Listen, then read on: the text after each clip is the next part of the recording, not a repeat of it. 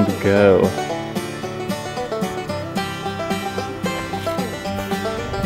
Uh, that was kind of anticlimactic. That's because no one's still in there?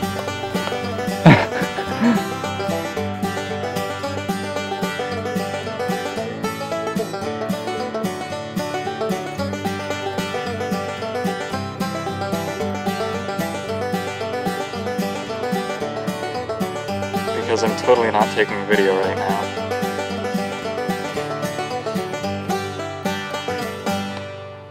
I hate you!